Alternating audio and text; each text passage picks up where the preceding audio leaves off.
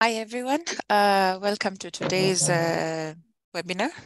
And, uh, and today we have, we have the pleasure of having our talk on exploring the tail spike protein diversity of Ackermann viridae phages from theory to practice. And our speaker today is Anders Nørgaard. So, and just a brief introduction about um, Anders. He he has been working on the phages for some time and he has he had he did his masters in molecular biology at the University of Aarhus where he where the master thesis focused on the replication complex of RNA bacteriophages Key-beta.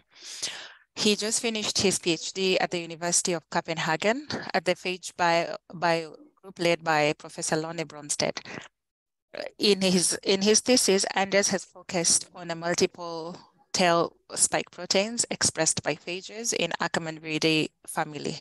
In the first part of his thesis, he investigated in silico the tail spike protein diversity of, of Ackermann viridae phages. The study found out that these phages express a large pool of diverse tail spikes that match with diverse four antigens expressed in Enterobacteriaceae species that the phages uh, uh, recognize. Furthermore, he the study showed that based on the in silico analysis and experimental results, the host recognition could be predicted uh, of numerous uncharacterized phages. This study entitled Subtypes of Tail Spike Proteins Predict the Host Range of Ackermann Phages was published in Computational and Structural Biotechnology Journal. In the second study, the tail spike diversity of Agatre's uh, genus in the, in the family was investigated. He recently isolated uh, Agtre virus phage AV101 and used it as an example of an Ag Agtre uh, virus phage where the tail spike protein receptors recognition was determined. The receptor binding domains of the tail spike proteins showed similarity towards prophages, therefore suggesting an evolu evolutionary link between lytic and lysogenic uh, phages. Lastly, the knowledge about diversity of tail spike proteins in the family was exploited. Here, the study showed the entire tail spike protein genes can be expressed between phages in the family, thus exchange the receptor recognition evaluated. Anders gave an oral uh, presentation of this study last year in the Viruses of Microbes 2022 conference. Currently, Anders is uh, employed as a postdoc in the same group where he will focus on the interaction between early expressed genes and the host proteins. The aim is to find phage proteins that can inhibit or kill extended uh, spectrum beta lacta ESBL producing E. coli. Welcome, Anders. Thank you so much. I hope you can hear me. Yes, we can. Okay, so first of all, I just want to say thank you for inviting me to give a talk about my thesis. Uh, and as you mentioned, I uh, defended my thesis a month ago. Uh, and this presentation will be more or less the same as uh, what I presented at my defense. So the title of my thesis was exploring the tail spike protein diversity of viridae phages. And today I put the from theory to practice on the title. So first, I just want to give a short introduction to what I will cover, a short introductions to the phages and receptor binding proteins and the receptors. And then I will go through these three uh, manuscripts that I put in my thesis. And then lastly, an overall discussion and conclusion. So I don't want to go that much into the bacterial life cycles because I guess many of you know it. I just want to stress that during my thesis, I've been working on the first step, the recognition of the bacteria. So if we zoom in on uh, the gram-negative bacterial membrane, which consists of the an inner membrane, a peptidoglycan layer, and outer membrane, uh, within this outer membrane, we have uh, different protein complexes that can serve as uh, phage receptors. So we have the flagellum or outer membrane proteins like OMP-A and BEP-A, or even TOL-C. Uh, but also phages can recognize polysaccharides. And here I have uh, highlighted the lipopolysaccharides, which is the receptors for the phages I've been working with. So the LPS uh, consist of the lipid A and core polysaccharides. And then uh, we have the O antigens, which can be highly diverse. And if we look even closer into this O antigens, uh, here you can see some examples from E. coli and Salmonella. And you can see that the sugar component can be diverse and the linkage between them can also be very diverse and some can even be branched. So in E. coli, we can find up to more than 185 O antigens, and in Salmonella, it's 46. Uh, so this was a bit about the receptors for phages, but what about the how these phages recognize the receptors? So we normally talk about the receptor binding proteins as tail fibers or tail spikes. And if we go through the tail fibers first, these are often long trimeric protein complexes that needs a chaperone in order to fold correctly. And they can interact with both polysaccharide and protein receptor. And here I just showed some example of structures of these uh, tail fibers. Uh, they can be very diverse in their structure. So for instance, T4, the GP37 can be a long uh, stalk structure, whereas the receptor binding domains of protein S from Mu and GP37 of T7 can be more like, like globular uh, foldings. But when we talk about tail spike proteins, they often have a very conserved uh, structure, which is this uh, beta helix, as you can see here. Uh, tail spikes are often short trimeric protein complexes that doesn't need a chaperone in order to fold, uh, and they can only interact with the polysaccharide receptors. So one of the phages I've been working with is this S117, which we can maybe use an example to talk a bit about the structure. So we have this head binding domain that is often binding to the uh, base plate of the virion. And then we have this uh, receptor binding domain, uh, which folds as this beta helix. And within this beta helix also uh, often has enzymatic activity. So upon binding to the receptor, they start degrading it. And then in the very end, uh, some tail spike has this intramolecular chaperone domain that aids in the trimerization of the uh, protein. So this was a bit about the receptor binding proteins. And now I would like to introduce you to the uh, Acarminavidae family as I've been working with. So currently, uh, uh, the it consists of 10 different genera uh, and two subfamilies.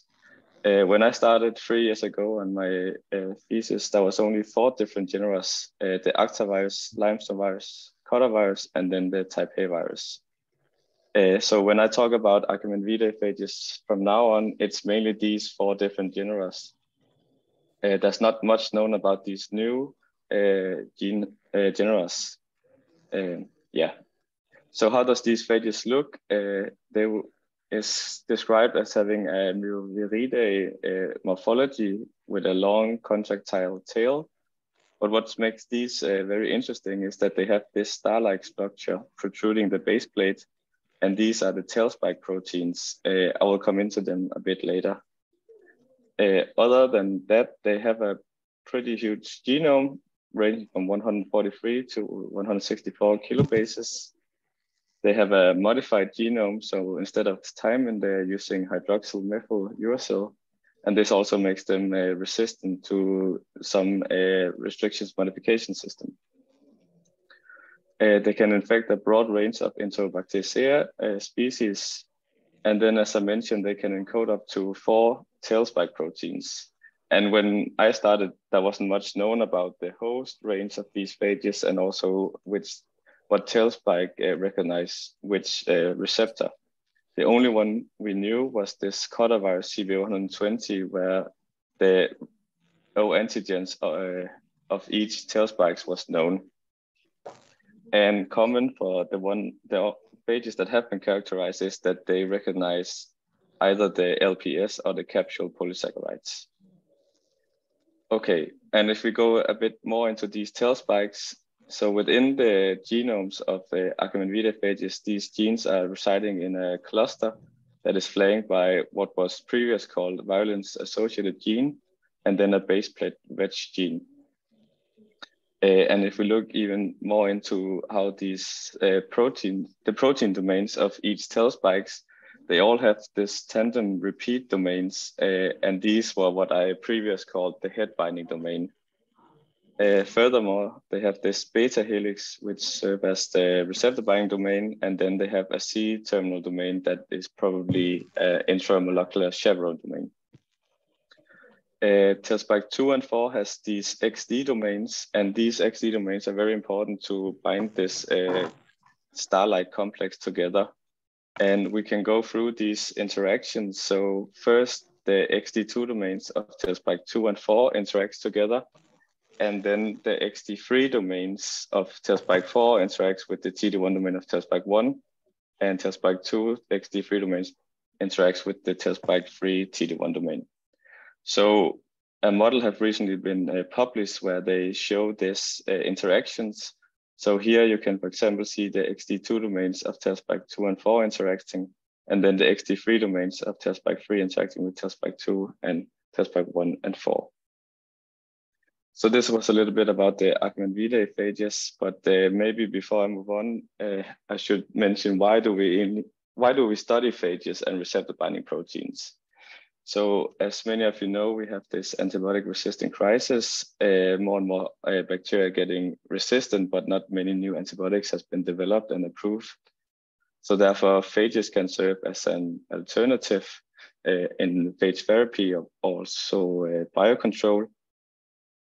Uh, receptor, the knowledge about receptor binding proteins can also be used in other platforms. For example, in pyosins, uh, pyosins are phage-like particles uh, produced by uh, Pseudomonas aeruginosa. And studies have shown that if you uh, exchange the receptor binding uh, proteins, you can target another bacteria. And this is also something we are doing in our lab currently. Uh, it has also been shown that purified tail spikes in themselves can reduce the colonization of salmonella in chickens. So this was more about the applications, uh, why they are uh, important to uh, investigate, but also there is this uh, co-evolution between phages and bacteria. Phages have a strong impact on the evolution of bacteria and also vice versa. We have this uh, complex arms race between uh, phages and bacteria. So these are also very important to understand. So when I started uh, my PhD, we had these different research questions. Uh, so first, we didn't know much about the tail spike protein diversity in the Akkermann family. And we didn't know much about the host range and host recognitions of the phages and their tail spikes. And then lastly, it was not known how these phages can adapt to the environment to change new hosts. So these uh, are some of the things I will keep coming back to during this presentation. Uh, so the first uh, paper uh, is called Subtypes of tail spike proteins predict the host range of Akkermann-Widey phages. And this was yeah. published in a Computational Structural Bio Biotechnology Journal. So here the aim was to in silico investigate the diversity of tail spike proteins in the family and further on use this uh, analysis to predict the host range of uncharacterized phages. And then we wanted to expand and validate these predictions by determining the tail spike recognition of uh, virus S117, which we had in our phage collection. So on the left, you can see the, uh, the taxonomy of the phages we used in this uh, study and the number of phages in each genera. And on the right, you can see this uh, conserved tail spike gene clusters uh, in different phages, but you can also see that there are already here some diversity. So what we did was that we extracted the genomes of uh, 99 Akkermann-Wiede phages and uh, located this uh, tail spike gene cluster. Uh, we could find a total amount of 373 tail spikes. we then uh, aligned all tail spike one, two, threes, and fours, and we put them into subtypes if they were more than 75% uh, identical. So we reasoned that if they were more than 75% identical, they may they should uh, bind to the same receptor. So here are the results, and I colored the uh, colored them based on their genera. So in blue we have virus, yellow virus, and gray limestone virus, and then in red uh, type A virus. So first we observed that all these subtypes are associated with the phage genera, meaning that if Actavirus phage and a virus phage do not express similar tail spikes, uh, which was kind of puzzling because we know that some of the phages in the Actavirus genus and the virus infects Salmonella and E. coli. You can also see there's a much higher diversity of virus tail spike subtypes, but that's mainly because, or we think it's because that uh, out of the 99 phages analyzed, uh, 69 was uh, from virus phages. Uh, so overall, we found that there were 96 different subtypes and that could suggest 96 different uh, receptors. However, when we not only aligned all tail spike ones, but all of the tail spikes in ones, we could see that, for instance, some tail spike ones and fours share similar receptor binding domains, which suggests that they can the receptor binding domain can jump between tail spikes. And we found this uh, sequence motif, which could be a, a, a, location for recombination events. Then we wanted to see, can we use, uh, can we predict the host range of these uh, subtypes? So we started out by determining the host recognition of S117 that could infect both Salmonella and E. coli. We then cloned and purified these tail spikes and spotted them on their host. Uh, and because tail spike have this enzymatic activity, then when they bind, they degrade the, the receptor and that will make a translucent zone on the bacterial uh, lawn. So from these results, we could see that tail spike 1 uh, binds to the O21 antigen on Salmonella Tailspike 2 binds to the O157 on E. coli.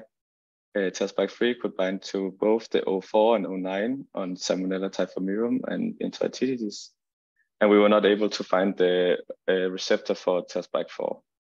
We then used this information uh, to predict the host range. Uh, this information also previous published data to predict the host range of um, multiple uncharacterized phages so for instance, this tail spike 3 in the subtype 1, there's a total amount of 52 phages that express tail spikes in the subtypes. So from that, we can predict that all of these phages recognize these Salmonella, Typhimurium, and Enteritidis. And when we go into the literature, we can also validate that some of these is actually binding to uh, infecting these uh, strains. Uh, and we could do this for a number of subtypes, but this there's a lot more subtypes that we don't know the receptor for. So in conclusions in this first uh, paper, uh, which I come back to the research question, we can say that the tail spike there's a huge tail spike uh, protein diversity in the Akkermann uh, Wiede uh, family, and this is probably due to match the very diverse O antigens. We also saw that these tail spikes are conserved within phage generas. And what about the host range and host recognitions? Well, now we can say that when we use our in silico analysis and experimental data, we can identify the host recognition of multiple phages. And then what about adaptation to the new hosts? Well, because this tail spike gene cluster are so conserved and also the N-terminal of all these tail spikes are very conserved, this may promote homolog recombination between the phages.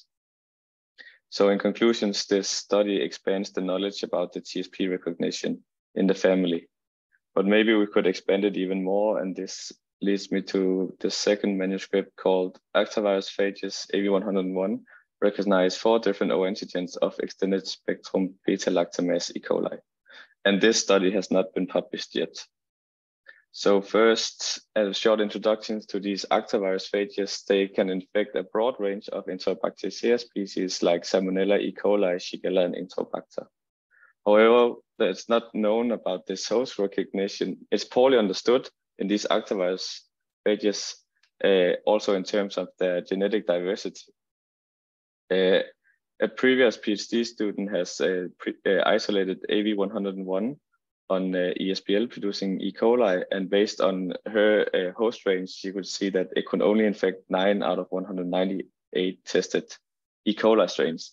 But as I was working with these uh, phages, I thought it would be interesting to look further into this phage. So the aim of this study was to elucidate the genetic diversity of these actavirus phages and determine the host recognition of actavirus AV101. So we started out by extracting all the genomes from actavirus uh, phages from NCBI and aligning them. And as you can see, they are very much, uh, uh, they are highly similar in their genomes. There's only a few genes that stands out like homing nucleases and a few nucleotide metabolic uh, genes. Uh, but the highest diversity we see in the tail spike gene clusters.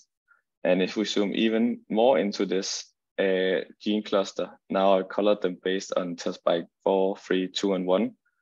We can see that again, they are very diverse. Only in the N terminal, we see a conservation, which makes sense that because it's important for hinging the star-like complex together. However, we do see there are three phages here who have almost identical tail spike gene clusters. And when we look at how unique these tail spikes are, then we can say that out of these 14 phages, uh, there are 10 different uh, uh receptor binding domains found in TALSPIKE2. So this is probably the reason why they can infect this broad range of Enterobacteriaceae species. We then kept on uh, with the AV101 to use an example of this uh, recognition of uh, the tail spikes. So as we did before, we cloned and purified the tail spikes and then spotted them on the bacterial lawn. And we could see that the, there was a that the, there are a correlation between the tail spikes and the O antigens. So for instance, tail spike 1 made these translucent zone on the O8 antigen, tail spike 2 on the O82 antigens, and tail spike 3 on the O153, and tail spike 4 O159. However, we did see something curious when we spotted TALSPIKE 3 on these O8 antigens, uh, that they made a very small translucent zone. And I know that this is not easy to see, but maybe here you can see there's a very small translucent zone compared to TALSPIKE 1. And when we spot TALSPIKE 3 on the O153 strain, it's a much, uh, it's a bigger zone of translucent zone. So in order to validate these uh, prediction, uh, these results, we did uh, inhibition assay. And here we incubate the strains with the tail spikes and let them incubate for 15 minutes. And then we try to infect the strains with the uh, phage. So if the tail spike binds and degrades the receptor, then the phage should not be able to infect. And this is indeed what we see with when TALSPIKE 1 is incubated with the O8 antigen uh, strain, there's no infections of the phage, and similar with the O82 and TALSPIKE 2. We did not see an abolishment of infection with TALSPIKE 3 and 4, but we did see a reduction. And maybe this has something to do with the kinetics of the tail spikes. If we prolong the uh, incubation, then maybe we could see a, abolishment of infection on these as well. But also we noticed that the TALSPIKE 3 has no effect on this O8 uh, strain, suggesting that it doesn't, the TALSPIKE 3 does not bind to O8, but maybe binds loosely to something else, making these small translucent zones. Okay, so uh, we could not find any similarity of these uh, tail spikes within the actavirus genus, but we thought, what about other phages? So we blasted the tail spikes and we could see that they were similar to uh, E. coli genomes for tail spike 1, 2, and 3, uh, which suggests that they are similar to uh, tail spikes from prophages. And for the uh, TelSpike 4, we could see that the receptor, uh, that we could see similarity in the towards other lytic phages. And to be sure, to visualize where this uh, similarity was, uh, we predicted the structures using AlphaFold. I was not able to do it as a trimer, but only as a monomer. But here you can see uh, in colors where the similarity is, and it's indeed in the receptor binding domain. So this suggests that these tail spikes from prophages may recognize the same as the tail spikes of AV101. So in conclusions to this paper, uh, we could say that there's a, also a large diversity of tail spikes in this genus, and we could use this tail spike spot assay to uh, determine the host recognition of the tail spikes uh, of AV101.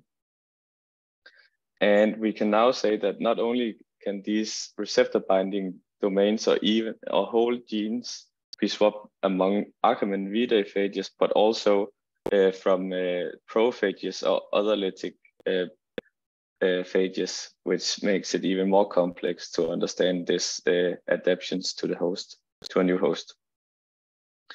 So in the last manuscript, uh, which is also not published yet, it was called Exploring the Branch Receptor Binding Network of Wiede phages for Novel Host Recognition.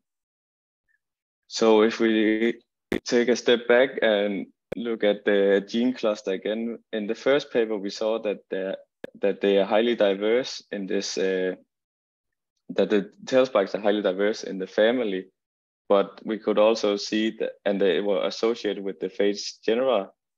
And we suggested that this similar, this very conserved uh, tail spike gene cluster may allow for recombination between the phages. So in this paper, we wanted to mimic the evolution of the tail spike network by the acquisition of new genes in the without disrupting this functionality of the network. And then we also wanted to see if we could expand this uh, network by adding a fifth tail spike and provide even uh, additional host. And for simplicity, I made a figure of this uh, tail spike complex. And again, I just wanted to stress out that these XD domains are very important to binding this complex together. And I will come back to that a bit later. So the fir first thing we wanted to say, uh, to investigate was, can we exchange uh, uh genes from within this phage genus, the coronavirus genus? So here you can see the genes from TelSpike 1, 2, and 3, and 4 from S117 and coronavirus CB120. So they have almost identical uh, TelSpike 1 and 2 genes, but there's only N-terminal uh, sequence similarities of TelSpike 3 and 4. But because these domains are so important and they are similar, then we should be able to exchange the whole genes of these TelSpike 3 and 4. So this was basically what we wanted to do using homolog recombination and CRISPR-Cas as a counter selection. We wanted to exchange the whole TelSpike 3 genes of SP, SPA120 with S117 TSP3. So in the first paper, we determined the recognition of TelSpike 1, 2, and 3 uh, with so, but when we then exchange the TelSpike 3, the new modified or engineered phage can now infect E. coli 077 instead of this Salmonella typhimurium 04. And similar when we do, do it with the TelSpike 4, the wild type, we didn't know the, uh, the host recognition of TelSpike 4, but with this new engineered phage, it can now infect E. coli with the O78 antigen. So it is indeed possible to exchange the tail spikes within these phages, within this genus. Then we wanted to see, can we also do it with phages in the other genera?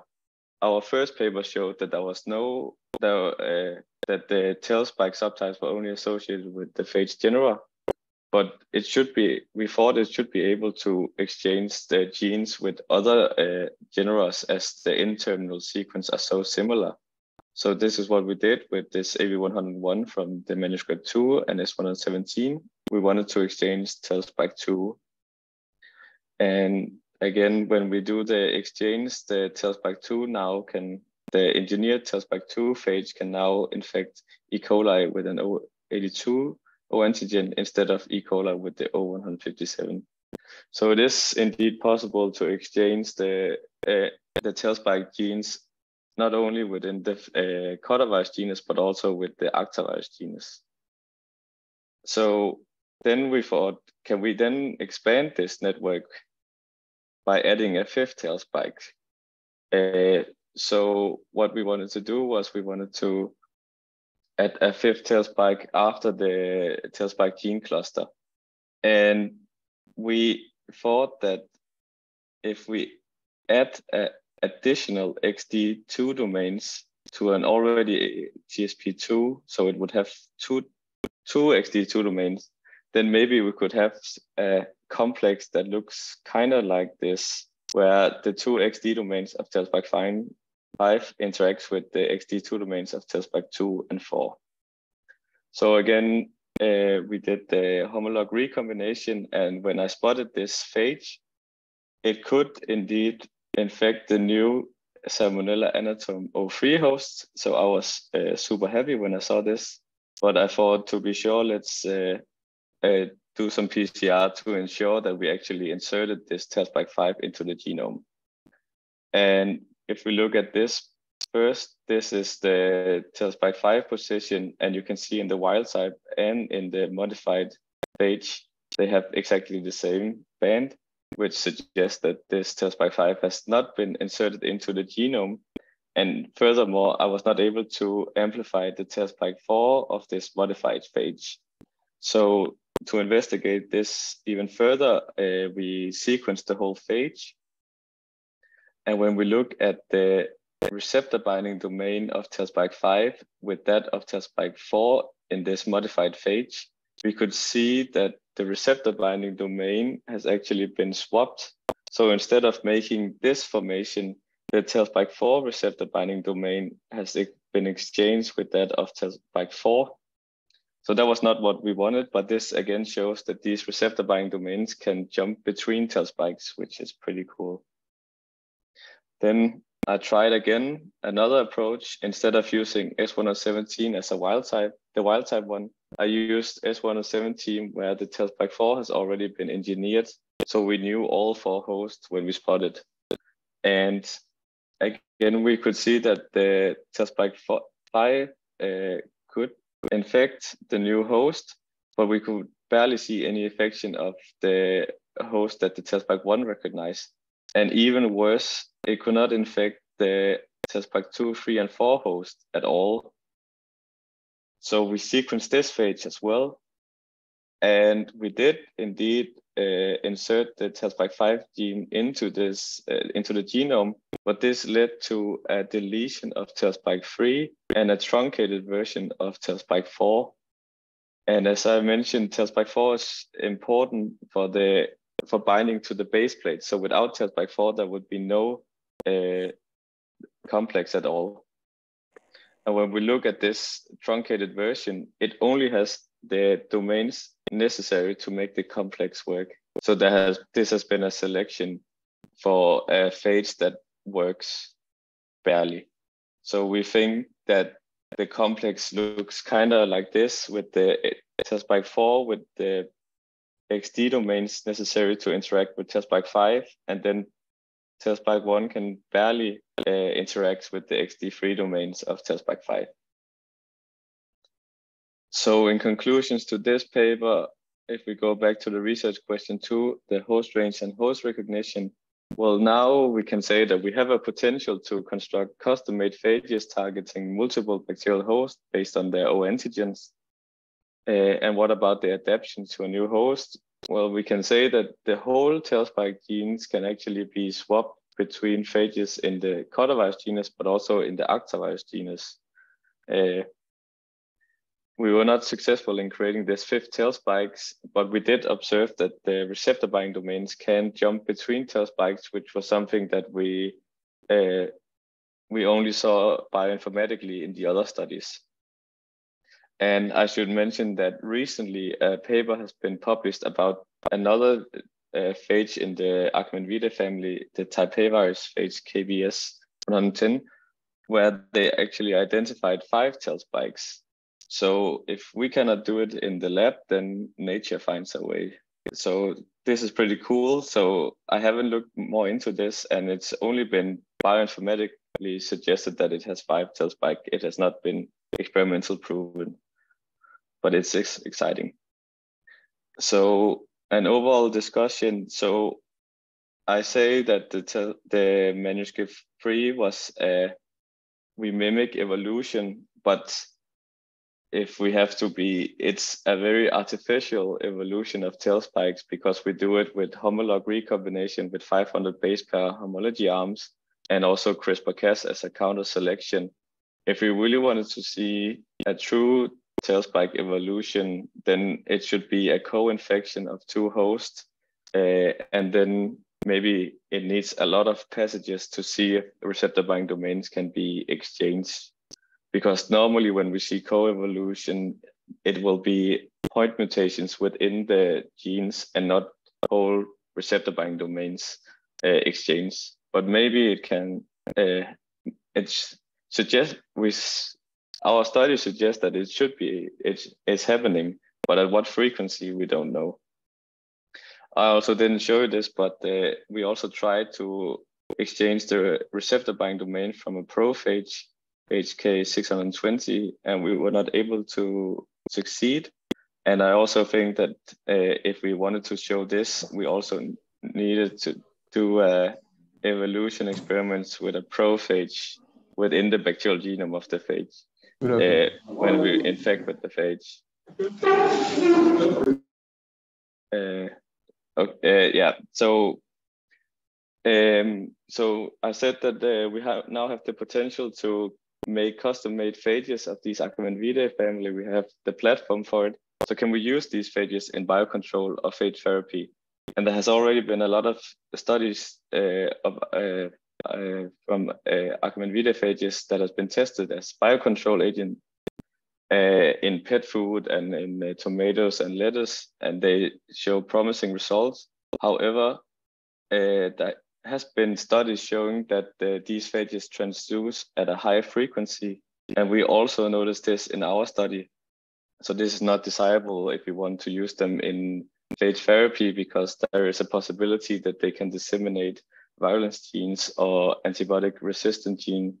And for example, the AV101 phage from manuscript two infects ESBL producing E. coli. So there is a possibility that this phage can transduce these ESBL genes to other bacteria. But can we then use all of this information in other platforms? So the initial idea of my thesis, uh, my project with another postdoc was to make telosins. So make pyosins out of uh, phages by removing the head. And we succeeded in doing that, but because these uh, phages transduce a lot, there will always be some small percentage of the these uh, uh, telosins that has uh, transduced so they can make phage particles. Uh, and that's not desirable at all. Another way to use these this information is that we are in the group uh, making enolysins, which is where you fuse the endolysin with a receptor binding uh, protein. And through an unknown mechanism, this has a high killing efficiency in gram negative bacteria. And a postdoc in the group is now working on the tail spike from S117 and trying to fuse it with an endolysin to make these enolysins. Okay, so lastly, I just wanted to go through a conclusions about these research questions. So now we, I hope I can uh, convinced you that I shown that there's a lot of protein diversity in the family. And this is probably due to the high diversity of receptors found in Enterobacteriaceae species. Also, we have expanded the knowledge about the host range and host uh, and receptor recognitions of the phages and tail spikes. And then lastly, how the phages adapt or exchange the host recognition. I hope that I also have convinced you that because the tail spike gene cluster are so similar, there is a possibility that they can exchange whole genes. Furthermore, we saw that the, the receptor binding domains can also be exchanged not only with the Akmin phages, but also other lytic phages, as we saw in manuscript two. And then lastly, we also saw that the receptor binding domains can be found on prophages. So this just makes this uh, receptor binding uh, domains uh, evolution very complex and very interesting to study.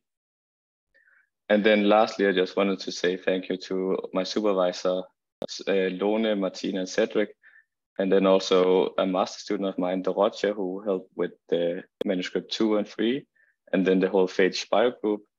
And then I also went to uh, uh, KU Leuven at Rob Levine's lab uh, to do whole genomic sequencing and also RNA sequencing of the phages.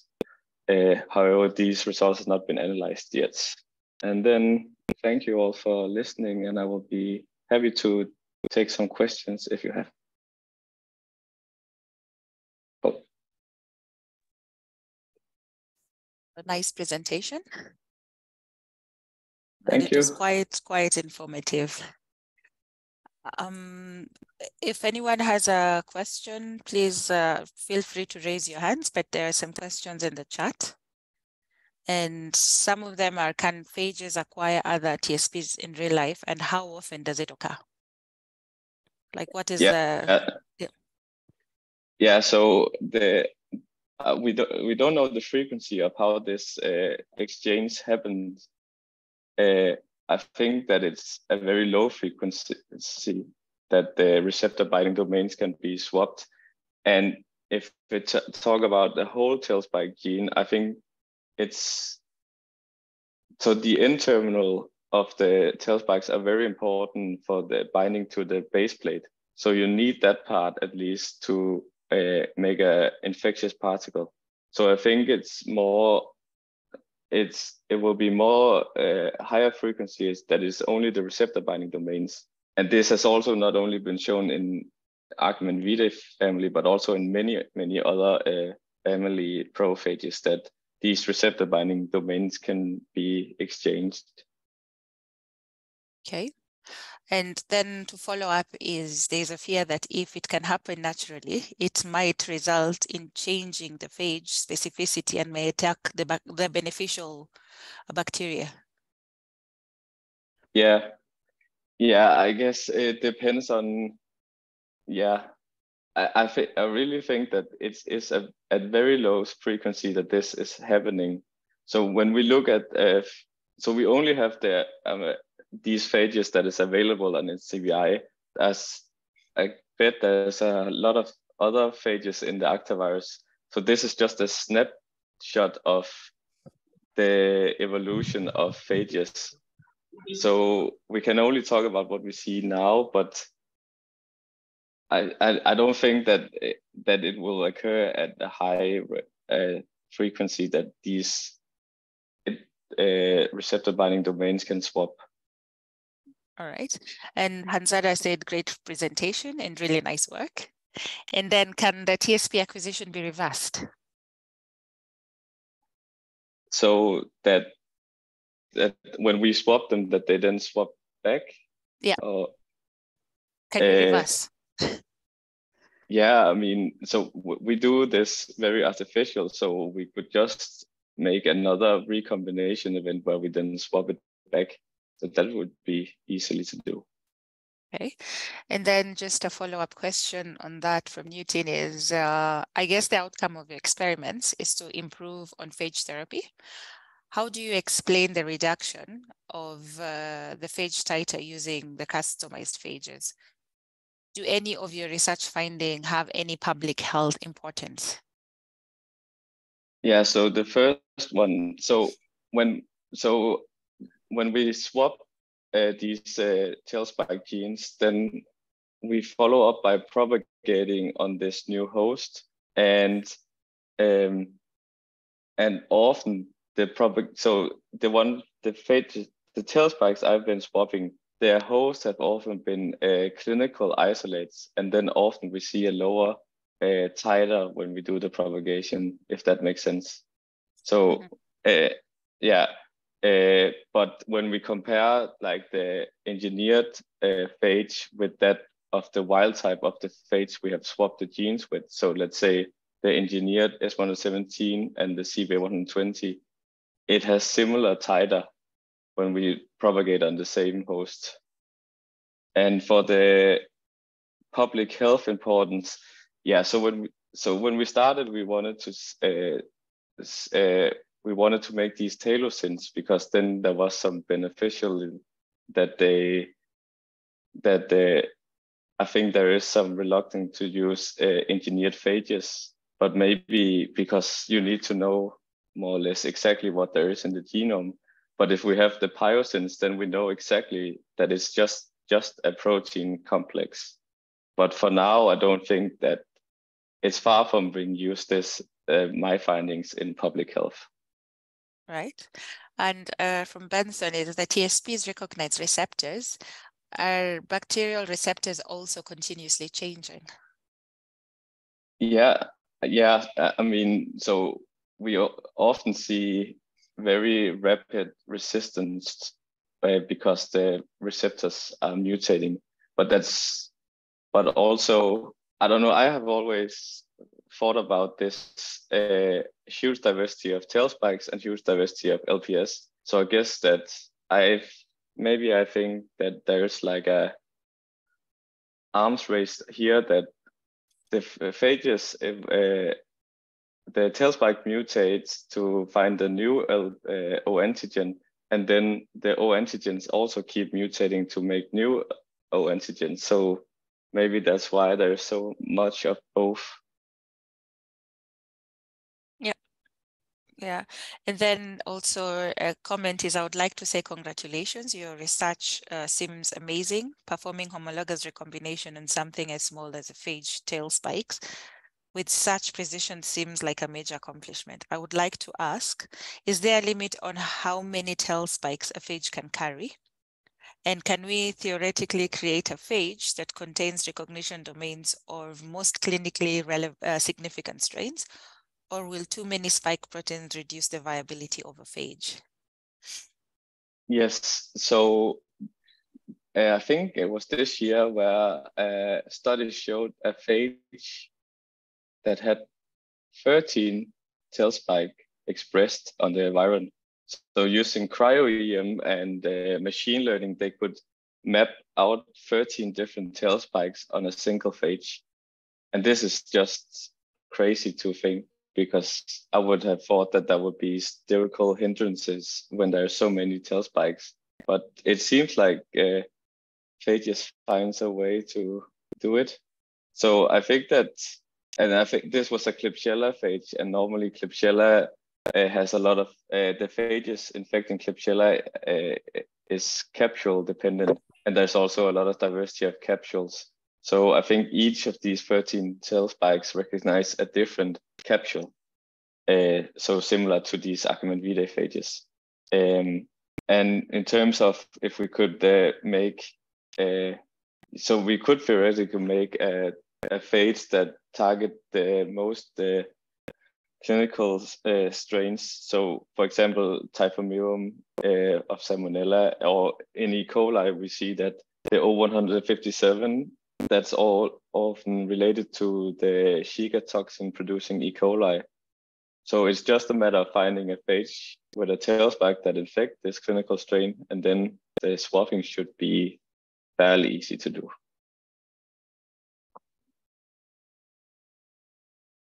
Thank you. Um, did you consider including all the phages from uh, JGI databases GenBank has limited number of phages for comparative analysis? Uh, no, I don't. I don't know what the GG, JGI database is. Uh, maybe Edward could uh, unmute and maybe explain further. Oh yeah, there is a there's a the database where the, the novel phages gets to be to be deposited in that databases. So usually when you have a novel phages and you blast against the ACBR, you're going to get limited number of um, phages in there. So the mostly likely your phages that compares to your novel phages.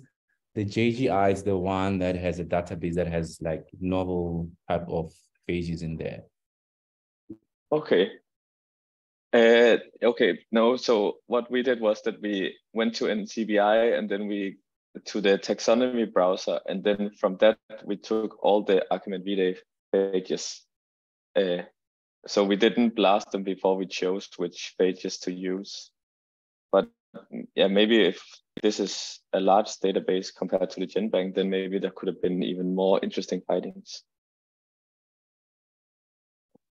All right. Um, thank you. I'm just wondering when you were making the tail spikes and did you see any uh, deletion of some cryptic genes that phages have and then maybe they're losing some so that they could have others in it? Uh, no, not the, the ones that we engineered. There was no deletion of, the only time we noticed this was with this TelSpike 5 where the TelSpike 3 was deleted and the truncated version of TelSpike 4. But other than that, uh, they are identical in all the other genes. All right. Thank you so much, Anders, for your great presentation. Anyone else with the final questions? Thank you so much. And just a reminder that we have two conferences coming up, uh, Viruses of Microbes and the Evergreen. So we should uh, maybe take time and see if we can register. And then for the Evergreen, the bioinformatics uh, workshop will be trying to be availed also online for those people who won't be able to travel uh, to uh, the Evergreen conference. So thank you so much, Anders, and I wish you the best in your postdoc. I'm sure you've just begun. Yes, uh, thank yes. you again for inviting me. All right. Regards to Lorne, and tell her thank you for the great work that you've that you're all doing on the other side. Thank you. I will do that. All right. Thank you, everyone, and have a good evening or morning for those in different time zones.